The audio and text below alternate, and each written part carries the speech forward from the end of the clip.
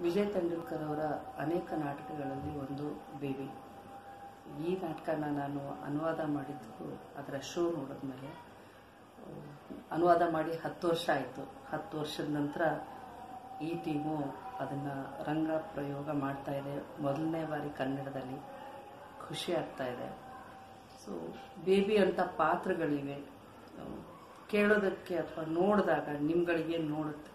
ಈ ಥರದ್ದು ಸಾಧ್ಯವ, ಈ ಥರದ್ದು ಸಿಚುವೇಶನ್ಸ್ ಸಾಧ್ಯವ ಅಂತ ಸುಮಾರು ಜನರಿಗೆ ಅನಿಸುವಂಥ ಸಾಧ್ಯತೆಗಳಿದೆ. ಬಟ್ ಅದು ರಿಯಲಿಸ್ಟಿಕ್ ಪ್ಲೇ ಆದ್ರಿಂದ ಮತ್ತೆ ವಿಜಯ್ ತೆಂಡೂಲ್ಕರ್ ಅವರು ಸ್ಲಮ್ಮಲ್ಲಿ ಬೆಳೆದವರಾದ್ರಿಂದ ಶುರುವಾತಲ್ಲಿ ಅವರಲ್ಲಿ ಅಲ್ಲಿಯ ಚಿತ್ರಣವನ್ನು ಅದೆಷ್ಟು ಸಶಕ್ತವಾಗಿ ಮತ್ತು ನೈಜವಾಗಿ ಕಟ್ಕೊಡ್ತಾರೆ ಅಂತಂದರೆ ನಮಗೆ ಕೇಳೋದಕ್ಕೆ ನೋಡೋದಕ್ಕೇ ನಂಬಕ್ಕಾಗದಿರುವಂತಹ ವಾತಾವರಣದಲ್ಲಿ ಅಂಥ ಆರೋಗ್ಯಕರ ವಾತಾವರಣದಲ್ಲಿ ನಾವು ಇದ್ದೀವಿ.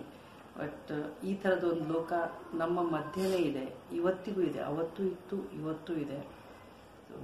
ಈ ನಾಟಕದ ಮೂಲಕ ಬೇಬಿ ಅಂತ ಅನೇಕ ಹೆಣ್ಮಕ್ಕಳಿಗೆ ಆ ಥರದೊಂದು ದಾಸ್ಯತ್ವದಿಂದ, ಆ ಥರದೊಂದು ಲೈಂಗಿಕ ಕಿರುಕುಳದಿಂದ ಮುಕ್ತಿ ದೊರೀಲಿ ಅಂತ ಹಾರೈಸ್ತೀನಿ.